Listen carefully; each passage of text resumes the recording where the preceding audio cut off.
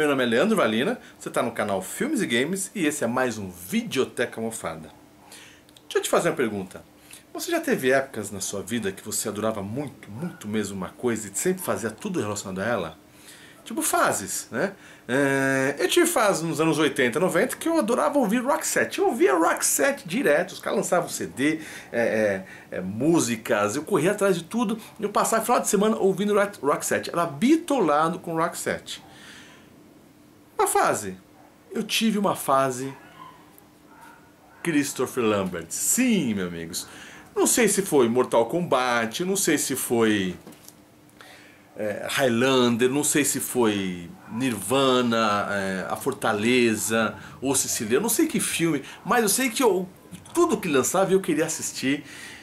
Boa parte eu gostava, eu gostava muito. Beowulf, Beowulf é um filme que eu tenho uma memória afetiva muito boa desse filme. O que, é Beowulf? É uma lenda inglesa, né, um poema inglês, onde ele conta de um, um personagem, um, um, homem muito forte, com poderes muito acima do normal, que ele vai num reinado, num reino, enfrenta uma besta e por aí vai, né? um demônio.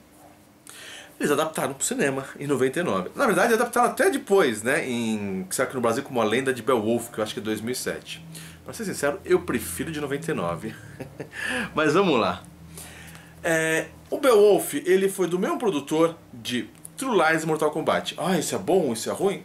Eu gosto de Mortal Kombat, eu gosto de True Lies. Tem até um FGCast de True Lies aqui no, no, no site.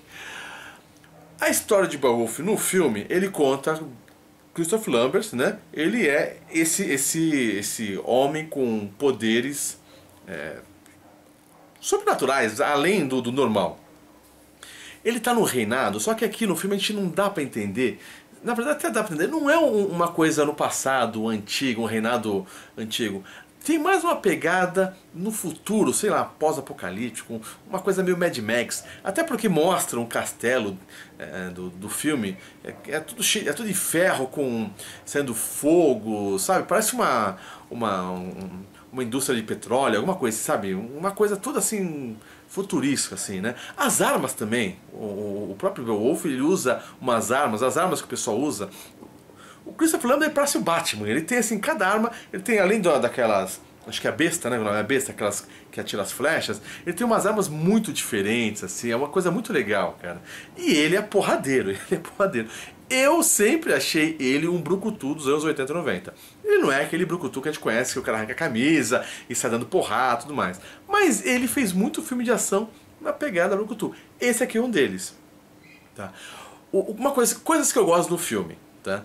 É, vamos lá, o, o cenário, né, a, a, o pessoal da, acho que é a direção de arte que se diz, eu não sei da parte técnica, né, a ambientação, o filme foi todo filmado na Romênia, então a ambientação tem essa pegada que eu falei Mad Max, né, eles estão dentro de, vão para dentro de ruínas, né, uma das lutas mais malucas, assim, mais legais que tem, é numa parte que são várias, dentro do castelo, parece o, lá embaixo, o subsolo, subsolo do castelo, que tem água, assim, umas, umas colunas, assim, sabe? É umas coisas Cara, é muito legal. O próprio castelo em si é legal a ambientação. Você sente é, uma, uma, certa imersão nessa parte do filme. É bacana isso, né? O, o, vestiário ajuda também, né? Ele com essa, essa pegada Matrix. O filme foi lançado no mesmo ano de Matrix, né? Claro que não se compara com Matrix. Mas é, é uma coisa bacana. Lembrando de Matrix também, a trilha sonora. Sempre quando tem luta, é que aqui tá, tá no mutado. Mas quando tem luta, toca uma música eletrônica, techno, sabe? Uma coisa sempre coisa de rave, assim, né? Parece que você tá numa rave. É, para empolgar, é, isso toca direto, isso toca direto. Então, quando começa a tocar música, você já sabe, pô, vem porradaria aí. E o filme tem muita porrada, tem muita porrada e a coreografia é bem feita. Tá? Esses mortais, esses golpes que ele dá, é um dublê, olha lá, ele dá um facão do Guile aqui, né? é, obviamente que são dublês né, que fazem isso, mas o filme tá bem feito, tá? as lutas são bacanas, né? E, e o que acontece? É, Christopher Lambert ele tem aquela, aquela carinha de. Ainda mais esse filme, né? Tem muita gente que reclama que ele não é um bom ator, não sei o quê. Ele tem aquele sorrisinho meio cínico, né? O, o, o que pega, dá uma forçada de barra aqui, é o roteiro, né? O, as próprias falas dele, né? Ele sempre tem aquela pegada anti-herói. Ele fala, é, mas é, vem a mocinha querer ficar com ele, dá aquelas pegadas, não, você não pode me amar porque eu sou, sabe, o lobo solitário, aquela coisa, né? Mas, cara, é um filme bacana, é um filme divertido, eu gosto muito. Tem outras coisas boas nesse filme. Uma delas, que eu falei das mocinhas, vou até puxar o nome aqui. É, cadê, cadê, cadê? Rona Mitra. Cara, é uma mulher que ela passa o filme inteiro, mas com um decote, mas um decote, cara, que é impossível você conseguir não olhar para outra coisa a não ser o decote. Ela é uma atriz que não fez muitas coisas depois, fez muito seriado, né? É, ela foi, é, é, é, antes de começar a ser atriz, ela fazia cosplay em, em eventos da Lara, Lara Croft. Sim, aquela do videogame, né, cara? Lara Croft, tá ligado? Então, cara, e ela assim, ela é lindíssima, ela sabe? Tá incrível, cara. O decote, então, sensacional. E daí você fala, pô, mas tem peitinho? Não, dela não tem. dela não tem. Mas tem uma outra mulher também que aparece no filme, que eu não vou dar spoiler do filme aqui, tá? Mas tem uma outra mulher que aparece no filme que ela fez alguns filmes. Ela começou com Playmate, pra você ter uma ideia. Aquela que trabalha na. Aquelas que são capa da Playboy, aquela, acho que é Playmate que diz, né? O nome dela, cadê, cadê, cadê? Laila Roberts. Sim, tem peitinho. Lindíssima também, sabe? Depois ela fez algumas coisas, é, filmes assim, bem Baywatch, né? Que se, a única coisa que ela se enquadraria, né? Aquele seriado. Mas, cara, o filme é aquela coisa, você tem que entrar num filme desse aqui sabendo que é um filme meio galhofa, que você vai meio que, sabe, uma coisa meio. Não é um filme. Ele nem foi lançado pro cinema. Né? É, quando eles fizeram o filme, fizeram um baixo orçamento, né? É, tiveram outros filmes, aquele 13 terceiro Guerreiros, que estavam na mesma época, os caras falaram, não, não vamos lançar pro cinema não, porque senão vai pegar mal pra gente. E não lançaram pro cinema. Mas o que acontece? Eu reassisti esse filme esses dias para gravar o quadro. Cara, eu curti de ver o filme, eu curti, porque eu já sabia o que que era. Eu assisti esse filme quando era moleque, então ele é um filme feito pra moleque, é porradaria, é, é, é, música eletrônica tocando, armas diferentes, sabe? Mulheres gostosas passando pela tela, o monstro, né? Até que no final do filme tem tem um monstro que aparece de borracha, né? Que é um cara com uma fantasia, com maquiagem prática, né? Eles fazem o efeito no monstro, é, onde ele meio que se camufla, uma pegada meio predadora, assim, mas, né? Tudo bem, esse efeito Tá bacana, é um cara emborrachado, você não vê muita coisa. Apesar do filme ser muito no escuro, as lutas você consegue enxergar direito, né? Porque é tudo no castelo, mas você consegue enxergar a, a, as lutas. Então é, é, foi bacana isso. Agora o final, cara, o final lembra muito videogame.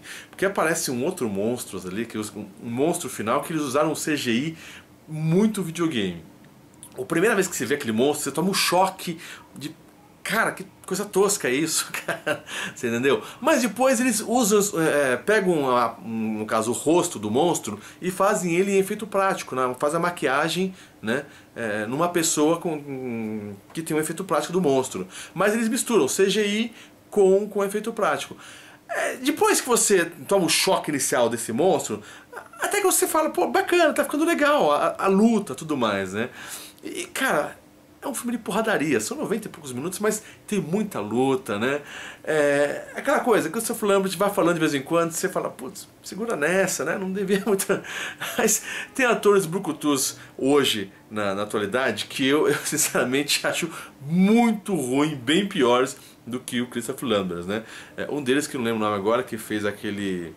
que ele protege o meu presidente. Eu vou deixar aqui a foto do cara, que tem um e o dois. Aquele, ele é pior, muito ruim, é tosco. Eu não gosto daquele cara e Christopher Lambert dá mil a zero nele, entendeu? Então, gente, é isso aí. Quem não assistiu, assista Beowulf, né? Não é um filme arte, não sabe. Eu prefiro, eu sou muito mais esse do que aquela animação que saiu com a com a Angelina Jolie, que ela sai pelada em CGI, né? Mas eu sou muito mais esse aqui, eu, eu, gosto desse filme, eu curto esse filme. Eu sei que tem os seus defeitos e tudo mais, mas eu me diverti. Eu acho que é um daqueles filmes que se quadra, se encaixa na Videoteca Mofada. Afinal, a Videoteca Mofada, você sabe, né? É um quadro que não é para mim ter os clássicos da Sessão da Tarde ou os ganhadores de Oscars. Isso a gente deixa pro FGCast. É, é um quadro onde tem aqueles filmes que tem aquela pegada meio diferente. Sabe qual é? Olha aqui, ó. Beowulf é uma delas, beleza? Gente, obrigado, ficando por aqui. Se você gostou, se inscreve no canal, dá aquele like, procura aqui na playlist, tem vários filmes que eu falei aqui na playlist Videoteca Mofada, beleza? E a gente se vê na próxima, tá bom? Valeu!